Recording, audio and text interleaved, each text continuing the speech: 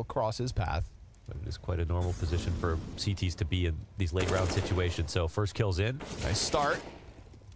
He knows they're both there. Oh, Alexi! All three!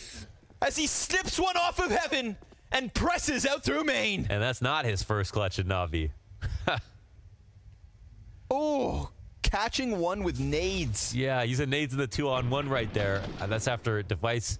You know, if the nade comes out, there can't be anyone peeking in this situation. And that had to be a headshot. Yeah. That stair frag had to be a headshot. Mm. B.